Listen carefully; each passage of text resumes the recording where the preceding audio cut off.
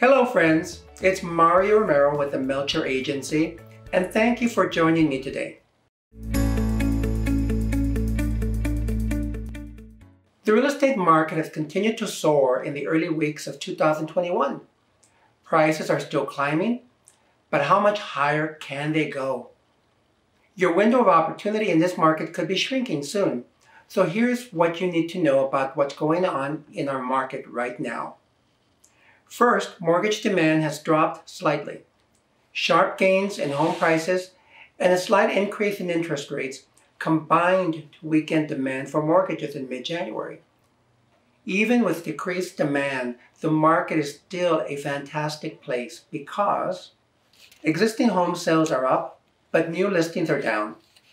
Demand for homes driven by the pandemic resulted in 2020 home sale numbers that we hadn't seen since 2006.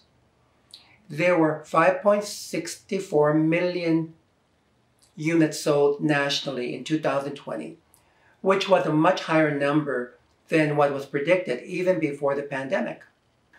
While existing home sales are strong, new construction sales have taken a dip. And why is that, you ask? Well, builders are less optimistic because of higher building costs. Just a few months back, home builder confidence was at an all-time high.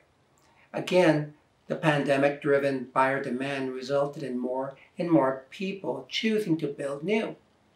However, building confidence fell three points in January as the cost of lumber rose. And builders are grappling with supply side constraints related to lumber and other material costs, a lack of affordable lots, and labor shortages that delay delivery times and put upward pressure on home prices.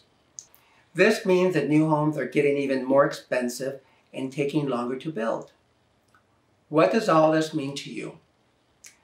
As long as demand remains strong and inventory stays low, home sellers are in a great position in our market. With these kinds of conditions, a quick sale with multiple offers is more of the norm than the exception. With low mortgage rates continuing to fuel demand, an increase in rates could lead to an increase in inventory and a decrease in prices. Though I'm happy to say that we're a long way from there. So if you have any questions about potentially selling your home or trading up to a new property, feel free to give me a call at any time. I can help you make the right decision for whatever you decide to do. It's been a challenging year for all of us. Be safe, stay healthy, and keep in touch with your loved ones. We appreciate you for your friendship, referrals, and for trusting us with your real estate needs. Without your support, we wouldn't be where we are today.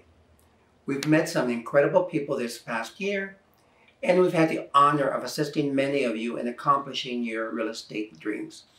Take care and make it a great day.